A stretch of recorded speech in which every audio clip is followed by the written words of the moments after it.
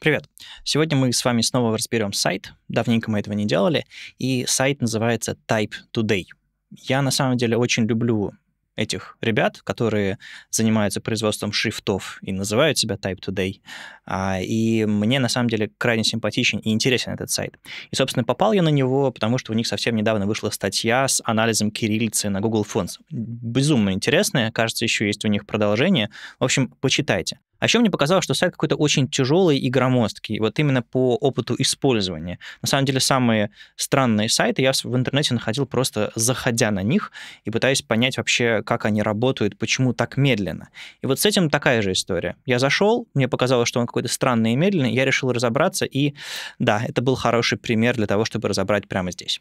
Так выглядит статья про кириллицу Google Fonts крайне рекомендую, очень интересно, если вам интересна типографика и вообще э, кириллица как таковая. Но мы с вами будем сегодня смотреть на главную страницу а, Type Today. Это их журнал, а это у нас главное. В принципе, главное загрузилось быстро, но я на домашнем быстром интернете, и это ну, десктопный браузер на самом последнем э, топовом MacBook Pro. Ну, в общем, понятное дело. Вот как выглядит сайт. Что на самом деле есть на главной? На главной есть какая-то навигация, немножко несколько статей из журнала, и главное, что есть на главной странице, это витрина со шрифтами. Вы видите перед собой длинный-длинный-длинный список того, что ребята сделали сами или совместно с какими-нибудь дизайнерами шрифтов. Довольно-таки много шрифтов. Ну и внизу простенький футер. Давайте посмотрим, что об этом сайте думают uh, PageSpeed Insight. Возьмем и сходим. PageSpeed Insight и посчитаем.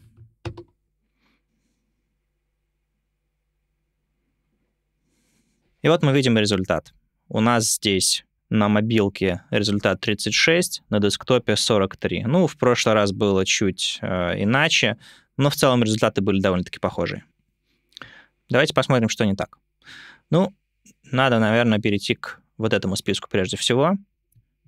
Ресурсы, которые запрашиваются, не сжимаются, не гзипуются. И тут э, ребята из PageSpeed Insight потенциально считают сколько можно сэкономить, 370 килобайт. Если включить GZIP, то 90 килобайт, а то и Бротли какой-нибудь. То есть, в принципе, тут можно здорово сэкономить. И эти все запросы, их довольно-таки много, мы с вами скоро поймем, что это за запросы. И на самом деле, кажется, там э, сжатие сработает не так хорошо, но, может быть, Google виднее, надо просто пробовать. Что еще интересного? А, некоторые запросы ключевые не предзагружаются, там тоже можно здорово сэкономить на них. Там есть неиспользуемый JavaScript, а, некоторые ресурсы довольно-таки большие можно инлайнить. Ну, в общем, как обычно, Lighthouse или PageSpeed Insights, как вам приятнее его называть, дает разные советы. И тут, в принципе, результат довольно-таки печальный во многих местах. Ну и аналогично на десктопе все, в принципе, не очень хорошо. А вот тут вот еще и ответ сервера длинный. Ну, давайте посмотрим на панель Network самого сайта. Идем сюда, открываем Network, выбираем все ресурсы и перезагружаем. Ждем, ждем, ждем, ждем, ждем. Ой, поскакали мегабайты. В общем, сайт весит 20 мегабайтов чистых ресурсов, и 15,6 из них передается, слава богу, гзипуется. А сервер у нас здесь HTTP 2 практически везде, хотя главная страница отдается с HTTP 1.1. То есть получается, что CDN, с которого отдаются все эти ресурсы, CDN лежит на HTTP 2, а сам сайт лежит на HTTP 1.1. Это немножко странно, но, наверное, в этом есть какой-то смысл. Тем не менее, это все довольно-таки долго отдается. Две секунды и по несколько сот секунд, иногда по, почти по целой секунде другие ресурсы. В итоге довольно, на довольно-таки быстром ноутбуке и быстром интернете сайт загружался почти 4 секунды. Давайте попробуем понять, в чем здесь дело. И на самом деле самый, самый большой футпринт именно от загрузки здесь идет на реквесты асинхронные, которые случаются уже после загрузки. Давайте посмотрим, что там происходит. У нас здесь из 15 мегабайтов сайта 7 — это вот эти вот запросы. Что там такого интересного запрашивается? Давайте посмотрим. Data Application фонд WoW Charset UTF-8 Base64. Это у нас шрифты в формате Base64. Как вы понимаете, сайт шрифтового агентства, или как они себя называют, может быть, студии, а, естественно, содержит множество шрифтов. На главной странице огромный список по-моему, 87 шрифтов в списке, и еще порядка 64 шрифтов крутятся наверху в баннере. И суммарно там около 150, 150 шрифтов только на главной странице.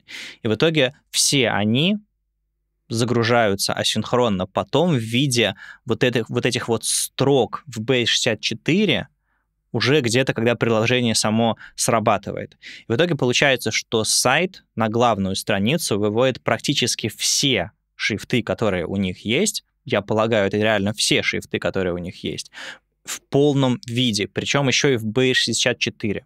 Если для вас это не звучит странно, а, давайте попробуем разобраться, чтобы вы поняли, почему я так удивлен и расстроен даже. Давайте посмотрим, как это все устроено. Если перейти в, на саму страницу, сходить в head и поискать, здесь мы увидим те самые шрифты, которые React, да, все тут работает на React, а, в какой-то момент инлайнит прямо в голову документа. Причем, ну, довольно-таки а, примитивно style type text CSS, господи, ну зачем?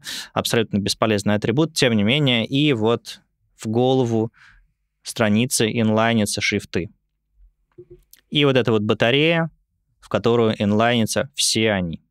Одна из гипотез, почему шрифты в B64, состоит в том, что, может быть, их как-нибудь прячут то есть, э, ну, понятное дело, что а, шрифты коммерческие, они продаются, а, люди лицензируют их, и просто выкладывать их, типа, скачивайте, кто хотите, наверное, таки плохо. И подумали, что B64 это, наверное, формат, в который их можно закодировать, и их никто не сможет декодировать. Но это не так. B64 декодируется обратно, именно это браузер и делает, когда он получает шрифт в формате B64, он его декодирует обратно и применяет. А другая гипотеза может быть в том, что а, загружать шрифты это как-то странно и неудобно. Может быть, проще загружать какие-нибудь, не знаю, текстовые строки с сервера, и это проще отдавать. Это другая гипотеза. Но, в общем, история такая, что это все неэффективно. То есть само сжатие B64 увеличивает размер шрифта. Но это другая история. Давайте попробуем сначала разобраться, какие именно шрифты и в каком виде подгружаются. Давайте попробуем раскодировать эти шрифты обратно и пощупать, что там, собственно, есть. Давайте сходим в заготовленный файл, в котором я собрал все шрифты, которые инлайнятся в шапке этого документа. У меня есть файл fonts.txt, в котором на каждой строке написано B64 строка, в которой содержится отдельный шрифт, вот в таком закодированном виде. Этот файл весит 7 мегабайтов, и если передавать его к загзипованным, он будет весить где-то 5 мегабайтов. То есть 5 мегабайтов шрифтов, их здесь всего 150 штук.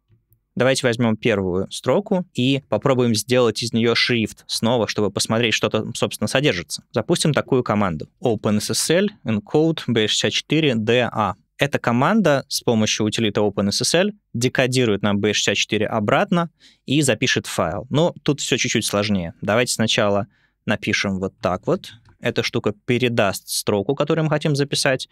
Здесь мы ее напишем, а это запишет, собственно, файл. Ну, файл у нас будет font.wov.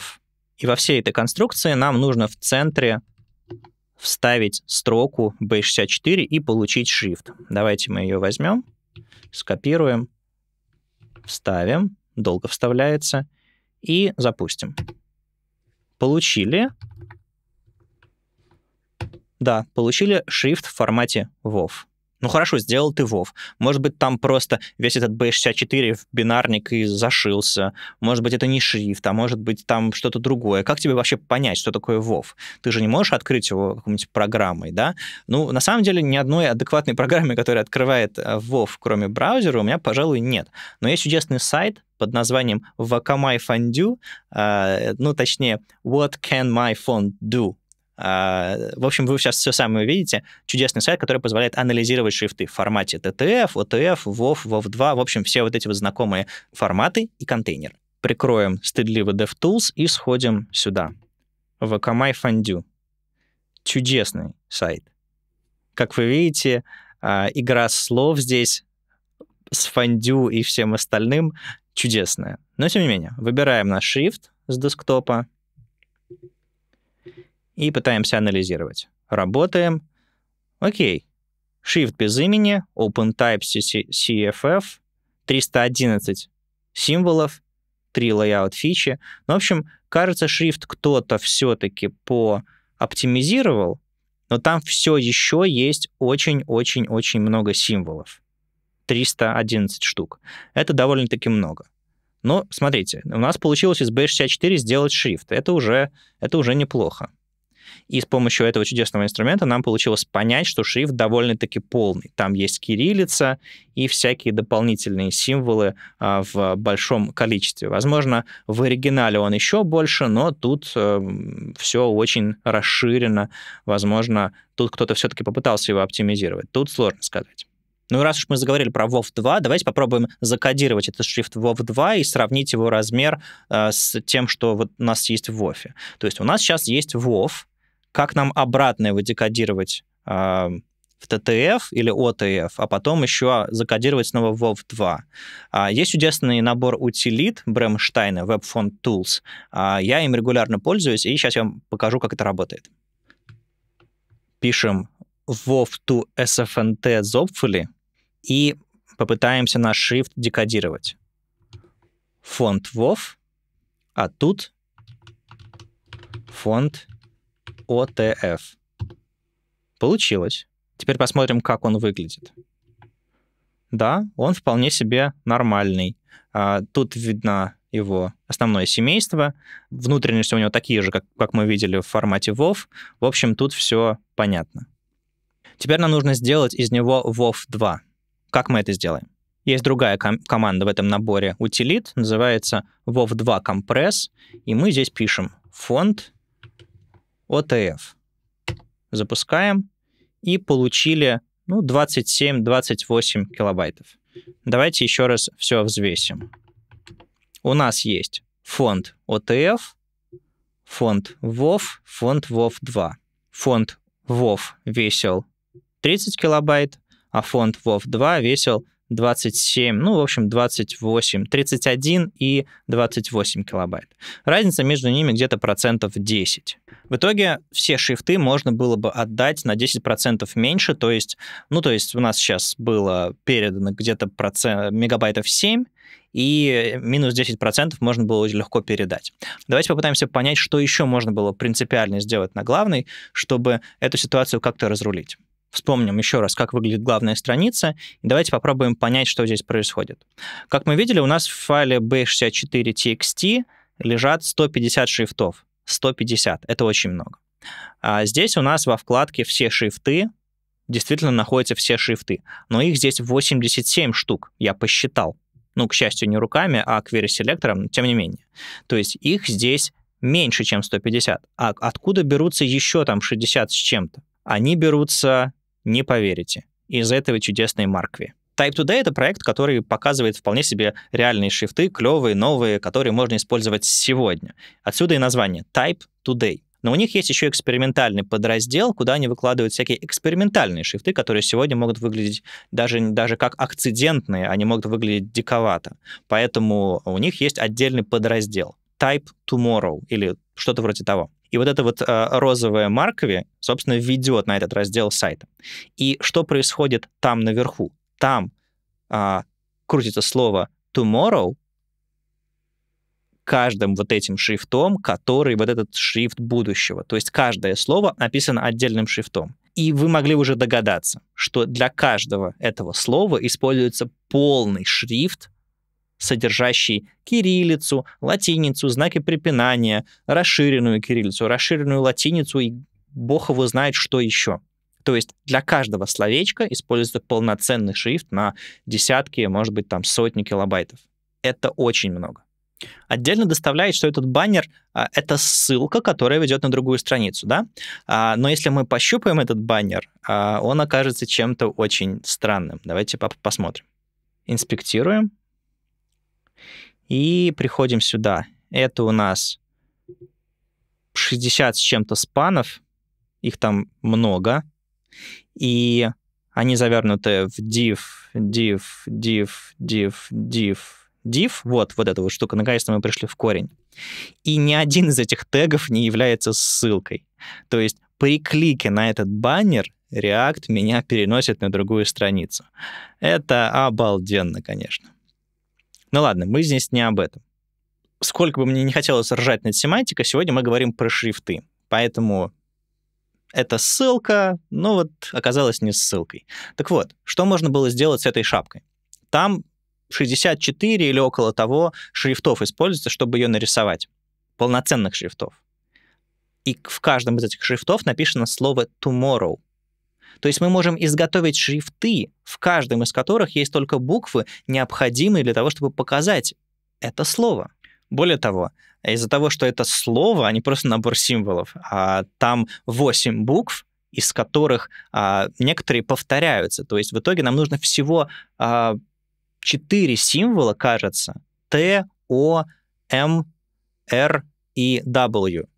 Нет, все-таки 5 символов, кажется. Ну, я могу, могу ошибаться. В общем, меньше, чем 8 штук, чтобы показать все это слово.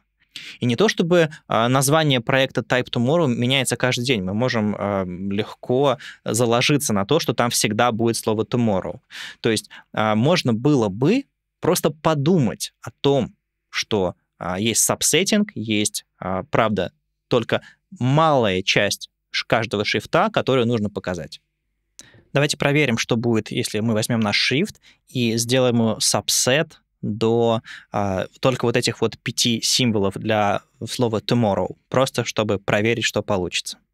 Есть такая чудесная утилита glyphhanger. Мы так и напишем. glyphhanger white list равно и здесь tomorrow. Ну и берем лишние буквы. Так, R нам нужна всего одна, O убрали, вот, tomorrow. И здесь напишем во что мы хотим его превратить. Subset и наш фонд OTF. В итоге, смотрите, наш шрифт был 51 килобайт, стал 2 килобайта. Но если мы сравним вот это все прямо здесь, то получится, что наш WoW 2 весил 27 килобайт, а когда мы получили только нужное слово из него, он стал фонд subset WoW2 и стал весить всего полтора килобайта. То есть 22 килобайта и полтора килобайта. Ну, вы почувствовали разницу. В итоге считайте сами, что можно было уменьшить, если про просто сделать сабсет, если просто подключить шрифты в подходящем формате, если не относиться к ним как к base64 строкам, если давать браузеру решать, в какой момент этот шрифт загрузить, в какой момент не загружать и так далее, и так далее.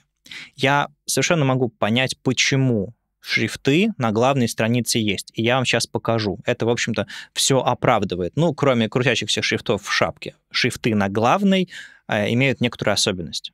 Если внимательно посмотреть, то шрифты можно редактировать. То есть вы можете написать любой текст, а, который вы хотите проверить. И тут, конечно, это очень крутая фича. Но стоит ли она всех мегабайтов, которые этот сайт отдает по умолчанию всем, кто заходит туда, просто чтобы зашли статью прочитать, прочитали статью, пришли на главный, о, прикольные шрифтики, закрыли. Так вот, пока вы смотрели и думали, что, о, прикольные шрифтики, вы скачали 7 мегабайтов, ну, просто потому что авторы и разработчики этого сайта подумали, что вы наверняка воспользуетесь этой возможностью. Нет, не воспользовались, вам интересна только статья. И то же самое со многими другими вещами на сайте, например, с графикой. Если посмотреть на картинки, которые идут к статьям, то там тоже кое-что интересное.